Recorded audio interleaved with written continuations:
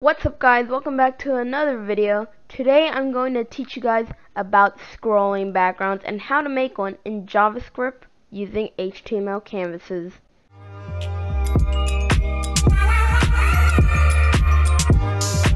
This video is going to be split up into three parts.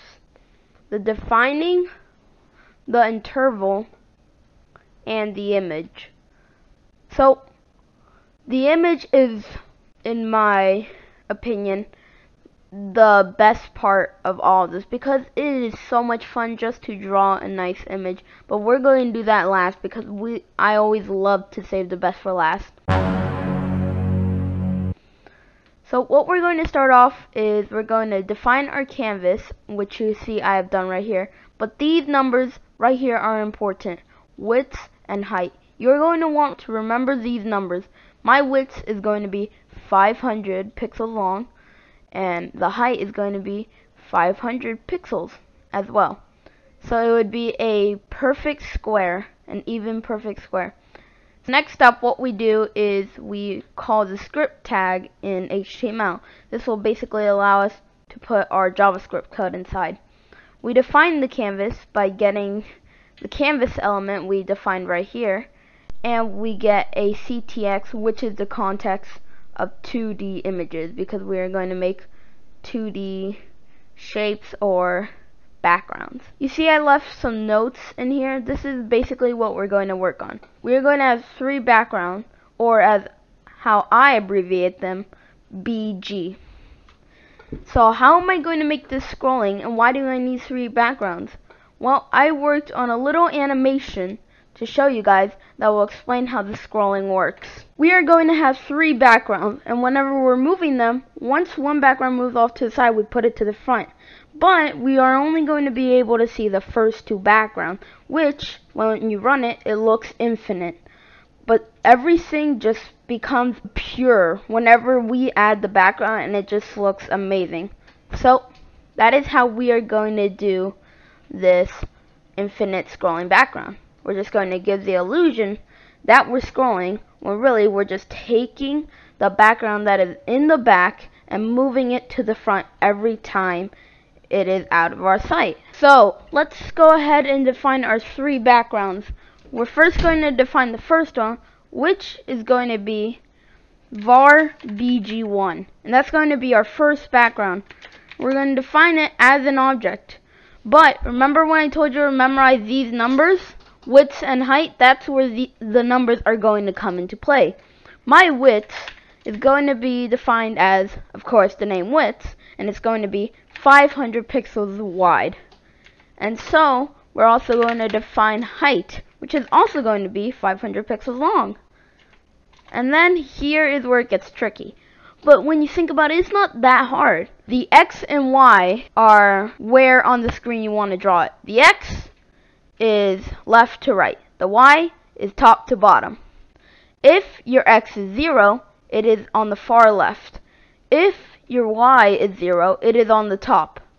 So if we set my x to 0 for the first background and my y to 0 for the first background, it would draw it in the corner filling up the entire screen because of course that is how big my background is. Next we can make our second background bg2. We're also going to make that an object, and we could basically copy the first part of my bg1. The width and the height are the same. Here's where it gets just a tad bit tricky. You see this width number. The width is 500.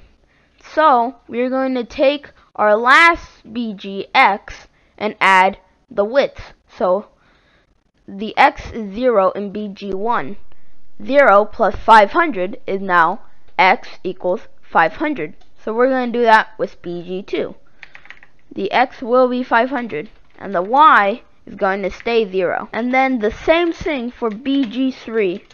We're going to have the width 500, height 500, and the x, here we go back to BG2, 500 plus the width, 500 plus 500 is of course 1,000. And then the y is going to stay 0.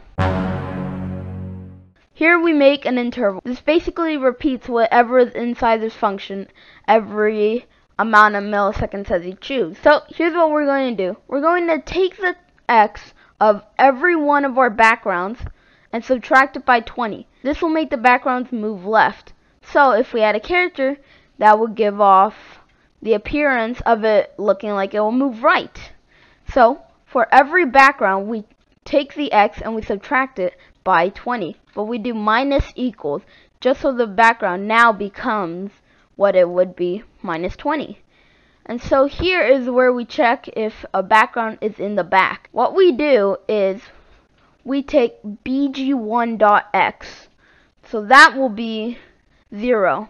We take its x of bg1. That would be 0. And we add the widths of bg1. So 0 plus 500 is of course going to be 500. And so that basically checks on the far right side of the first background. And if it's less than 0, that means it is now off screen. So we check if background 1 is off screen. If it's off screen, we take the background X and we change it to be the background farthest and the right. So if we have the order 1, 2, 3, BG1 would be first, BG2 would be second, and BG3 would be third. So, BG3 is now on the far right.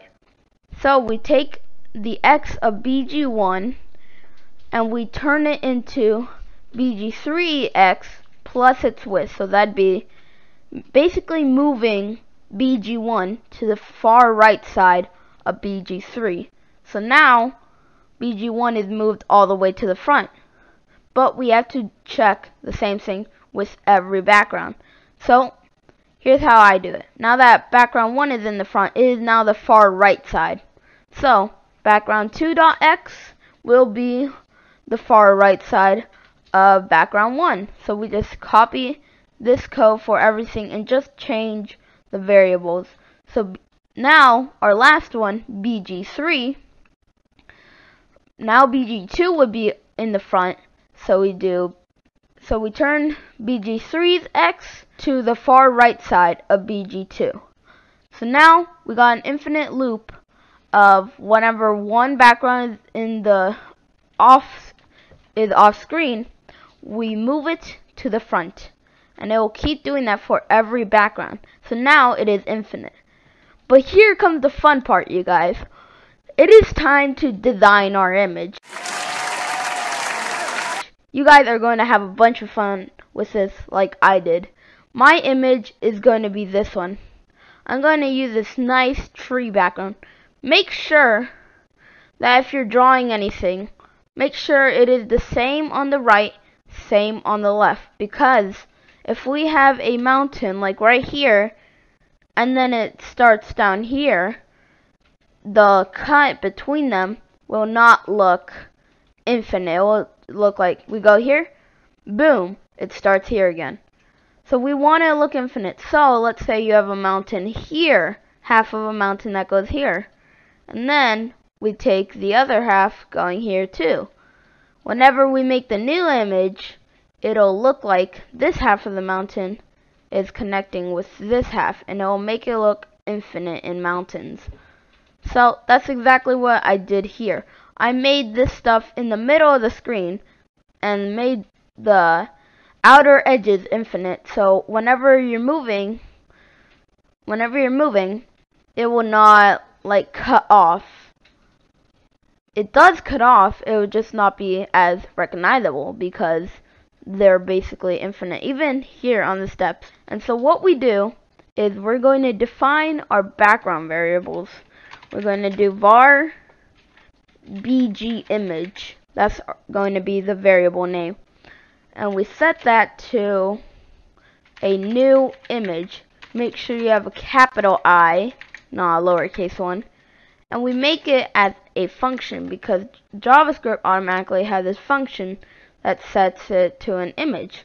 So we make a function, we add the semicolon, and now we get the src, which is basically the file path.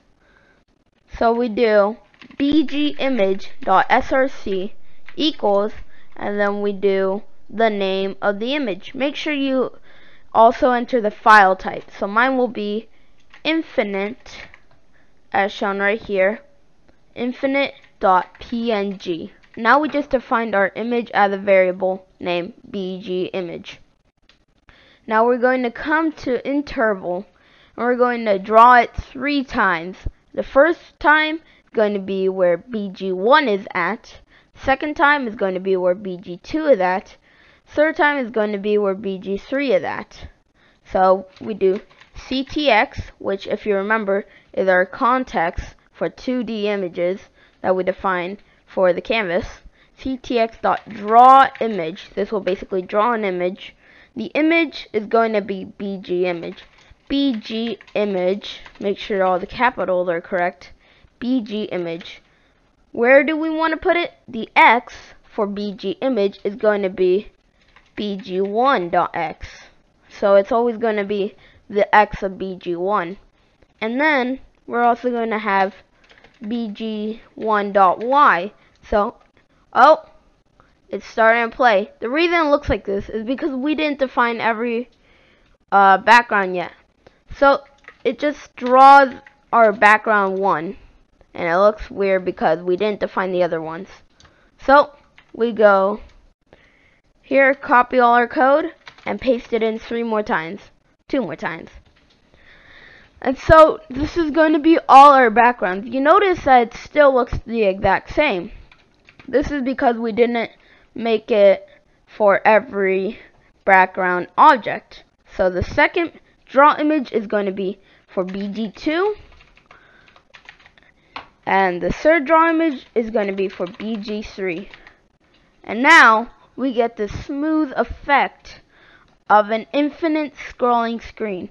Now you see whenever one of these gets off camera, off screen, it will move back to the front. But because it's so smooth, you don't see it happening. So it just keeps being moved to the front and it infinitely looks like it's scrolling. This is just a matter of illusion. So if you had a little guy running here, it'll look like he's running right instead of left. Because if you were running left, wouldn't the background move farther from you? So if you are running right, the background does look like it's moving farther from you. So this is a successful scrolling background. Thank you guys for watching. Please subscribe if this was helpful. If this was successful for you, add a comment. Say, tell me how your coding project ended up. And I'll see you guys next time. Bye.